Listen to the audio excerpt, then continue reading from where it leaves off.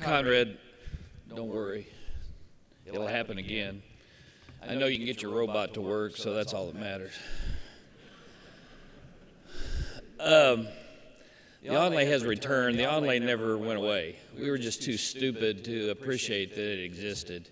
I was as bad as everybody else. Uh, I was the one at the American Hernia Society in 2004 that said the Rives-Stoppa is the standard of care, and uh, it's a great repair.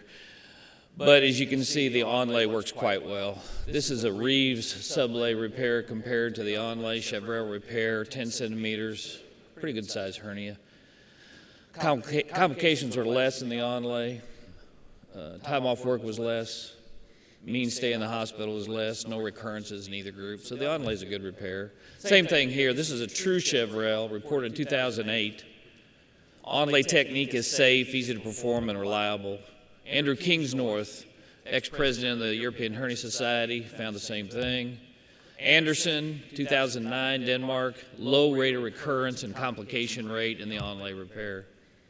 We just learned about the Rives retrorectus repair. I sent those slides to Conrad. He called me up. He said, "Do you have any pictures of Dr. Rives?" Dr. Rives didn't speak English and didn't like to travel. René Stoppa spoke English and liked to travel. So that's why Stopa got all the credit when Dr. Rives should have gotten the credit. And I thank Conrad for doing that because uh, he's Dr. Rives has passed away recently, like past three or four years. But Dr. Wantz in the middle there went to France and learned how to do these repairs, and he brought them back to the United States. I was lucky. I was a resident, and Dr. Wantz came to Memphis. Dr. Mangiani, one of my mentors in Memphis, brought Dr.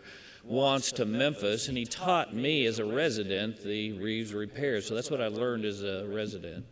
We started doing our laparoscopic suture-based repair based on the Rives repair. Now you have to remember all of the I've watched the panel and I see all these young guys and I know I'm I realize how old I am, but in at this time hernias weren't fixed properly in the United States. They were fixed as inlays. The mesh was sewn to the edge of the defect. And we started teaching our laparoscopic courses, and people started learning about the Rives repair. I was in Louisville, Kentucky one night talking about it, and there was a fellow out there in the audience named Todd Heniford. He got into it, and you see what happens when people uh, learn this repair. They know it's a good repair. So we became very biased. We became we, we thought it was the only repair around, and it's an excellent repair. The reason Rives came up with it is the only thing he had to work with were uncoated polypropylene and uncoated polyester. So he wanted the mesh behind the hole, but he had to keep it off the viscera, and that's how he came up with the repair. His student Flament published the results: 6.2% recurrence, 258 cases, we know it works. We know it's a good repair.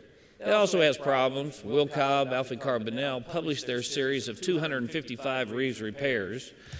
And you can see the surgical site infection was 19.6%. There were 37.7% wound events. Now, these are complicated repairs. These guys have a hernia center. They do all the hernias nobody else wants to do. But it does have its problems. It's not perfect, okay? It doesn't matter where you put your mesh. If you want a functioning abdominal wall, put it wherever you want. Do an IPOM, do an onlay, do an underlay, do a sublay, do it, put it on its side. It really doesn't matter. This is a study out of Scandinavia, Johansson. They used the Biodex machine, the lady sitting on that machine. These are big hernias, large or giant hernias. They put the mesh in every location. Then they measured the abdominal wall strength afterwards, and they found it didn't matter. You could put it as an IPOM, you could put it as a sublay, you could put it as an onlay. The abdominal wall strength was the same wherever you put the mesh. Chevrel was a founding member of the European Hernia Society. He was also a founding member of the journal, the World Journal of Hernia, that we all use and read. This was Chevrel's technique. He believed that if you closed the anterior fascia in the midline, he would cut these flaps, folded the midline, that that midline closure was key. And he would put fibrin glue over that midline closure, and then he would suture his mesh in place. Rath and Chevrel went to the lab and they used fresh cadavers and they measured the strength of the posterior sheath. And he found that the posterior sheath was very, very weak. And it was the first layer that sustained the action of any increased abdominal pressure.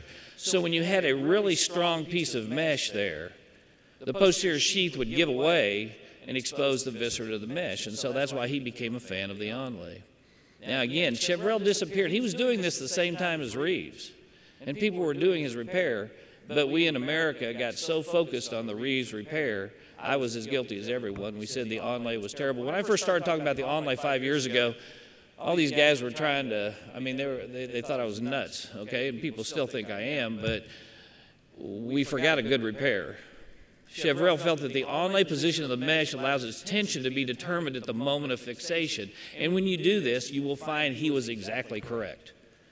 You also find that adhesives have an immediate effect on the fixation of the prosthesis. If the mesh becomes infected, you never lose your mesh. And you don't have to go fight and, and, and worry about bow being stuck to the mesh.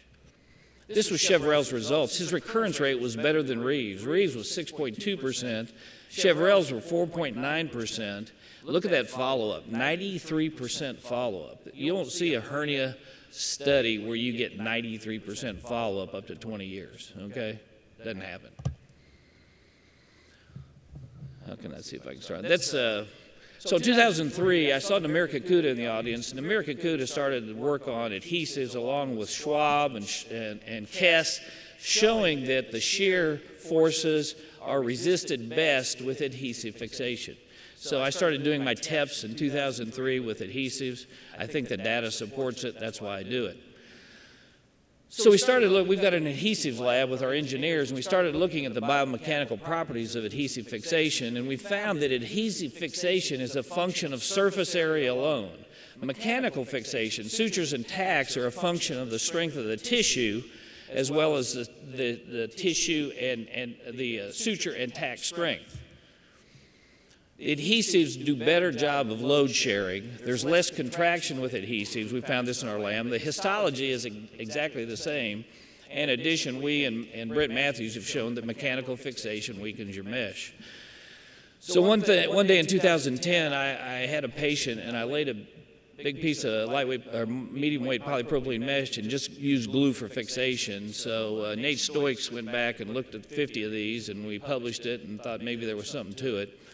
At this meeting last year, one of my uh, residents presented uh, our outcome in 97 uh, uh, patients with the onlay. Uh, follow up one year, up to three years max follow up, and which incisional hernias. And anyway, I'm not going to, but same kind of stuff that you see in any repair seromas, infections, skin breakdown. This is before also we, we really didn't know who to do this operation on. We're, we're learning better who to do this operation on. You can do it in contaminated situations and your mesh you can salvage your mesh. We didn't lose any mesh in these 90 uh, some operations. So um, Ben Poulose of the uh, American Hernia Society Quality Collaborative said, "Well, let's look at this. So some people out there are doing onlays and some people are doing sublays. Let's look at see what the data shows." And you can see the population: clean wounds, matched cohort group, onlay adhesive versus sublay.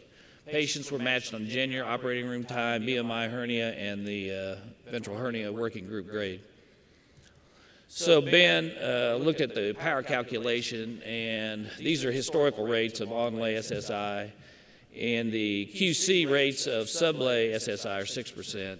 So they figured they needed two sublays for every one onlay to get a power of 85%. And any power greater than 80% is a good study, so this is what they needed. So again, this is the comparison. The clean cases, sublay versus onlay plus adhesive. SSIs is what they're looking at. Results, they found 91 patients with the onlay. Now, these aren't all mine. Uh, other people are doing this crazy operation, but uh, uh, this is all that's on the QC. They found 171 patients in the sublay group. 23% were intraperitoneal. You can see the different sublay techniques there. There's multiple different techniques for the sublay. What did they find? When you look at the onlay and the sublay, the groups were really almost identical. Very little difference between the groups. SSIs, no statistical significant difference. The onlay was 5%, sublay was 3%. When you look at this is surgical site occurrence requiring procedural intervention. That means anything, anything, seroma, no matter what. When you look at that, the onlay adhesive, it was 5%, sublay was 8% not statistically significant.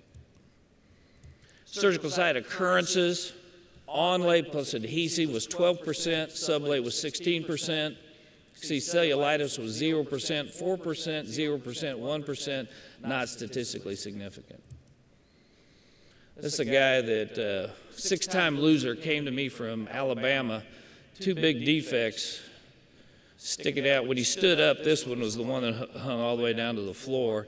We did some releases, got him closed, put some mesh on. That's the glue with uh, tacks there. So we brought him back to the office. Do you have the audio? Do you have the audio on that? I guess they don't. Anyway, uh, see if we got the audio on the next one. Maybe we have the Uh, audio. taking any pain pills? No. No pain pills? When's the last time you told you took? I'm a tough old man. When did you take your last pain pill? I don't know. Long I ain't time took but five since I left here at the hospital. Okay. I'm serious. I ain't. I drove all the way back over here Saturday to, to Bass Pro Shop. Did you really? Welcome to the South. How many days since we did your surgery now? Oh, Uh, so can we go to the next one? Here he is. So that is, that's him, you know, several weeks later. So uh, it's simple and it's easy. The pain's dramatically less. It's not for every patient. Technique's critical. You get immediate fixation of a, a very inexpensive piece of mesh. At 30 by 30 is 150 bucks. Which you'll appreciate, the tension's immediately taken off the midline. You can do it in non-midline hernias. And like Chevrel said, Fibrin glue allows immediate fixation of the prosthesis over its entire surface, giving the effect of an instantaneous repair and thus avoiding a delay during, many, during which many recurrences occur. Thank you very much.